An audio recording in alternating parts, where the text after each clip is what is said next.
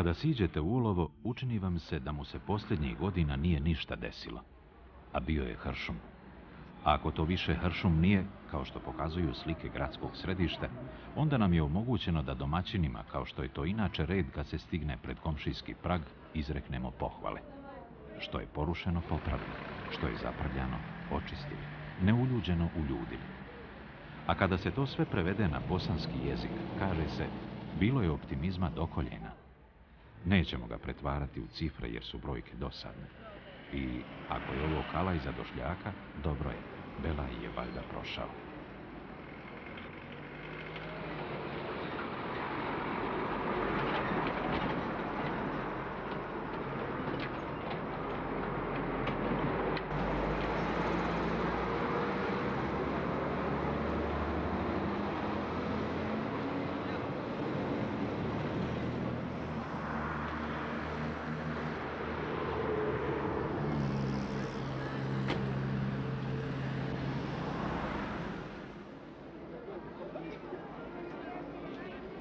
Nekada se na putu iz Tuzle u Sarajevo navraćalo na olovsku pijacu pored same rijeke, da bi se kupilo pravo voće, pravo meso, pravo kiselo mlijeko, pravi sir, prava kruška rakija od 55 stepeni.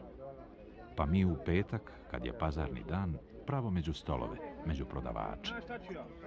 Sami onamo on šeitan, đavo euzubillahi mine šeitan i rađim, navede nas tamo. Od onoga čuvenog što smo nabrojali, samo mrvice.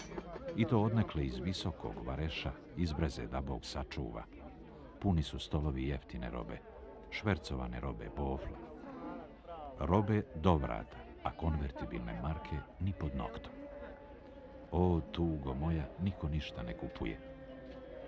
Tek kad saznado smo da su okolne zgrade pune izbjeglica, odgonetnu smo što na punoj pijaci nema ni jednog makar praznog osmijeha. A ako i uhvatite na čijem licu nešto što bi moglo ličiti na smiješak, budite sigurni da to hodač kroz pijacu sanja svoje sljeme za tjeme. Neku svoju livadu ili trešnju divljaku, svoju štalu sa steonom kravom, psa čuvara kuće, već negdje podivljalog. Sanja dan odlaska u svoj kraj, svoga pijetla kukurikala nad jajonosnim jatom kokica. Bježimo u onaj optimističniji dio grada gdje mladi i talentovani pjesnik Elmedin Jamaković Jek pjeva o ljubavi. A u vremenu koje dolazi, ona bi trebalo da bude preovlađujući znak dana koji dolaze. Osmijeh nepoznati. Još jedna noć prođe mi u nesnu. Uz čašu žutog otrova sa bolom. Ko nekad tebi odrecitavah pjesmu mladoj dami za susjednim stolom. Slušala me pa podiže onako svoju čašu da nazdravi pine s jednom nogom preko druge tako skrivajući osmijeh pun topline. Na polasku šapnu mi, oprosti, s nekim zame neobičnim skladom, sklapajući nježno oči snene. I dok su tiho odlazili gosti, gledao sam iz ulicu kradom za hitrom sjenkom nepoznate žene.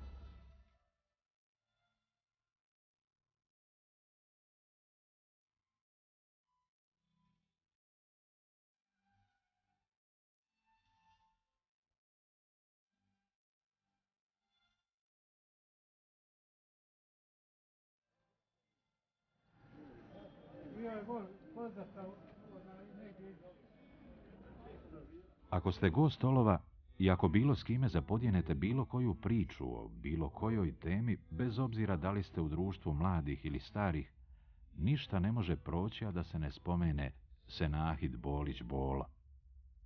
Učtivo je da znadete da je ovo ratnički kraj i da na mnogim grudima blista zlatni ljiljan. I možete sličnim pričama kontrirati. Puna je Bosna bila bojišta.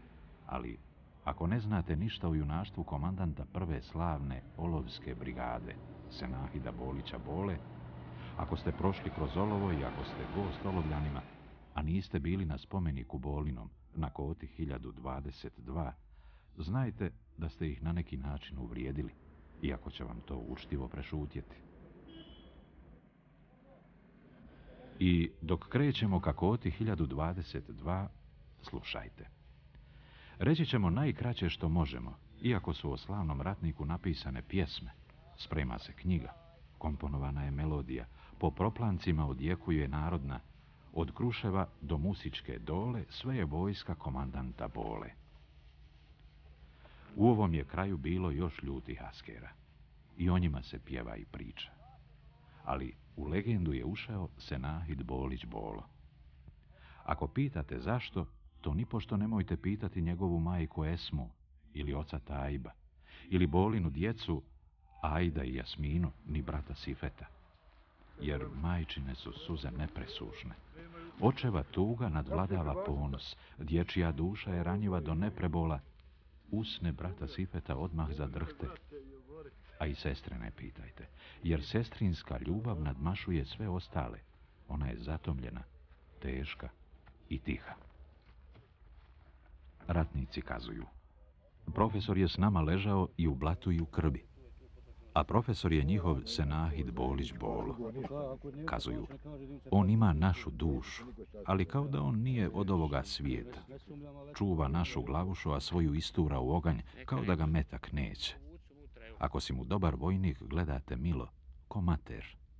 Ako se izvlačiš od ljuta boja, prezirete tim istim očima. Gledaš ga čitav dan u rovu pored sebe u jurišu. U noći smišlja ratničke planove. Nikoga nije uhvatio da okom trene makar u snohvatici. Vidiš mu, boluje tvoje rane, boluje Bosnu, boluje tvoj jadi čemer što si neobučen u vijavici i goloruk pred tenkom. Vidiš mu poslije noći novu boru na čelu ili na licu. Kraj tebe je kad si umoran i kad si ranjen, kad si kolebljiv, kad drhtiš od straha pred smrću, pogađa ti šta misliš. Kad izgovori koju, lakše ti i srcu i duši. Bolji je od tebe, mekši je od tebe, ljući je od tebe, hrabriji je od tebe, pametniji je. Takav je bio na Kruševu, na Gradini, na Kremenjači, u svakom rovu. I smrt ga je zapamtila. Teško ranjen, s njom se zavrat držao sedam dana i noći. 21. januara ratne 1994. izgubio je jedinu bitku. To je bio prvi poraz Senahida Bolića Bole, iako njegova slavna Olovska brigada nije pretrpjela niti jedan. Kada je olovski narod ubirao tugu, ja sam ubirao slova iz pepela bosanskog. Cijedio stihove iz krvi bošnjačke, a misli mi nagonule da razmišljam o svojim saborcima i da pišem. U sijasitu ideja, u tom jadnom i čemernom vremenu, nagoni misli mi nisu dali mira i u tim nemirima bljesnula je čitava knjiga pjesama, a između mnogih i pjesma našem slavnom komadantu Rahmetli Senahidu Boliću Boli.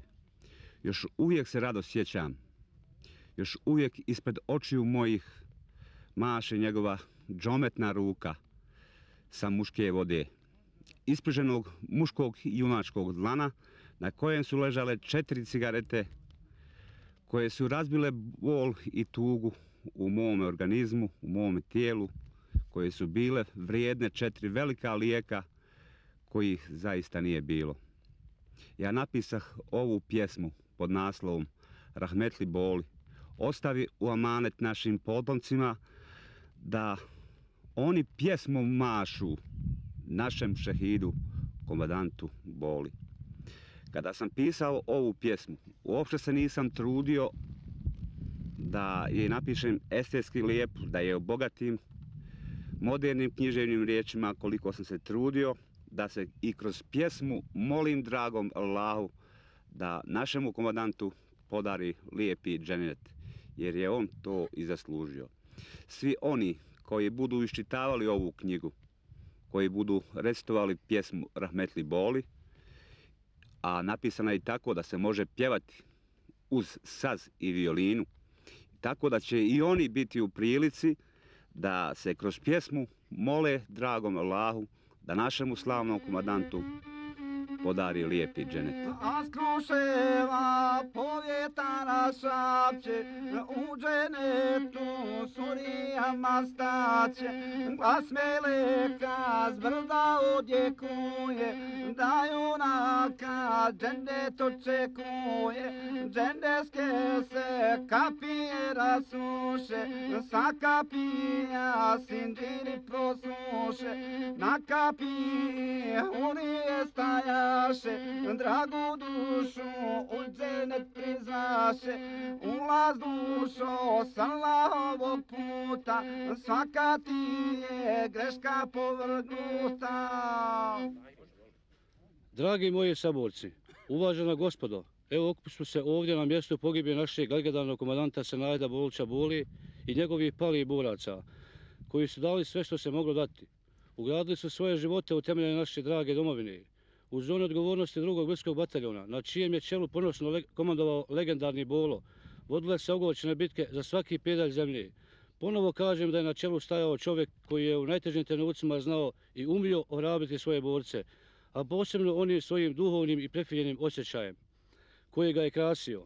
Senajd je pokazivao sve ljudske vrline i sve što im je mogao u teškim trenucima dati. Naš komadant je volio, vodio sve akcije i bio je rame uz rame sa svojim borcima, pa je u takvim trenucima bi posjegao za kutijom cigareta i podijelio svojim saborcima kada je cigareta bila nešto veliko u ra- u ratnom periodu.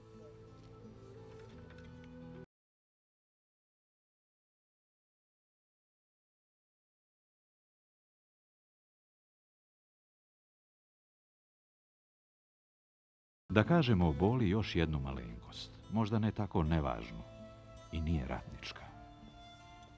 Usred bitke znao se zatren zagledati u neku visoku omoriku ili jelu i uzdahnuti da to vidiš, a ne čuješ.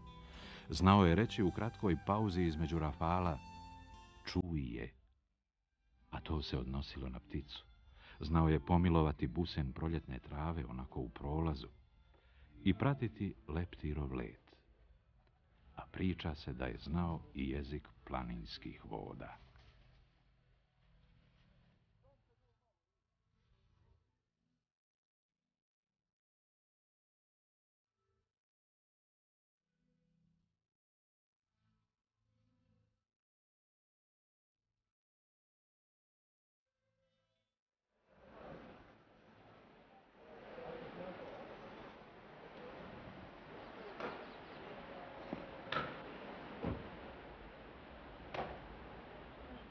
Avliji slikara Muhameda Degirmenđića, gdje smo došli da promuhabetimo koju s autorom crteža na kojima je se Nahid Bolić Bolo, zateko smo njegovu najvoljeniju, Anđelku, inače autoricu mnogih uspješno napisanih pjesama i pripovjedaka, a na neki način i inspiratora Muhamedovih slika.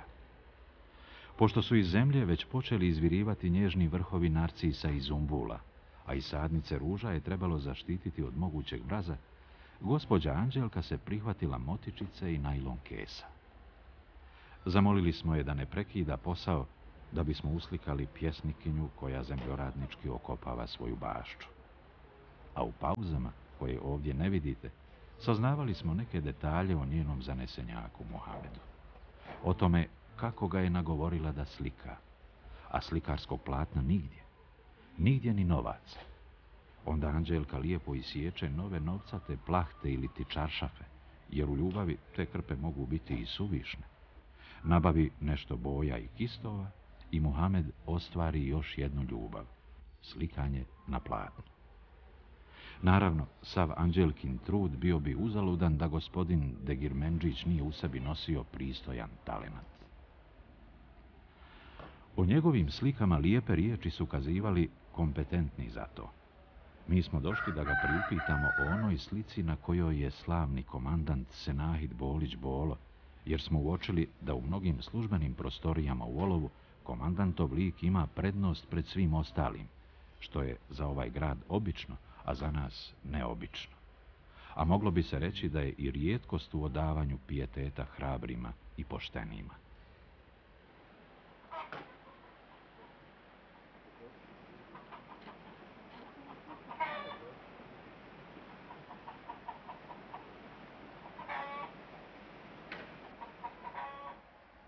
E, Sam e, nastavnik u osnovnoj školi koja nosi naziv ime Senajt Bolić Bolo.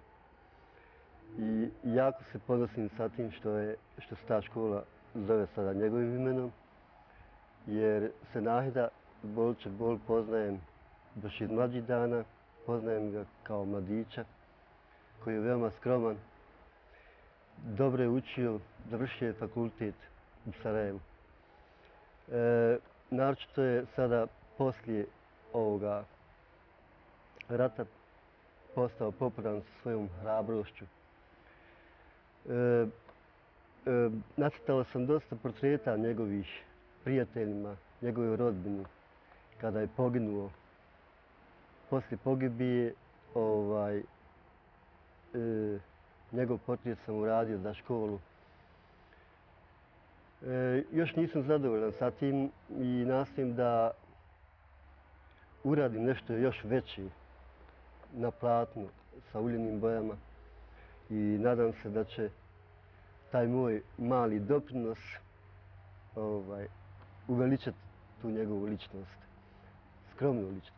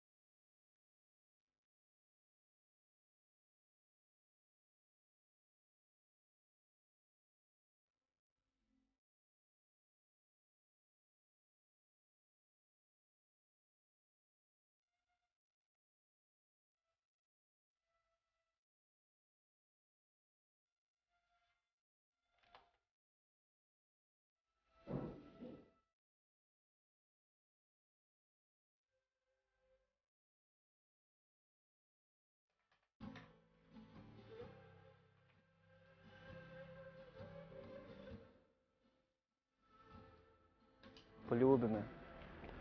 Poljubi me i ja ću biti srećan. Kao dijete što se svemu čudi. Znaš da život ovaj nije vječan. Osmijehni se, samo moja budi. Poljubi me ko nijedna prije. Tako strasno da se sve zatrese. Pa da oblak nadamnom što lije. Ljubav prava zauvijek odnese razvedri mi ovo lice blijedu, što nestaje okovano čežnjom i kad klonem da ti budem vječan. Ko kad majka svoje milo čedo u naručju toplome i nježnom poljubi me i ja ću biti srećan.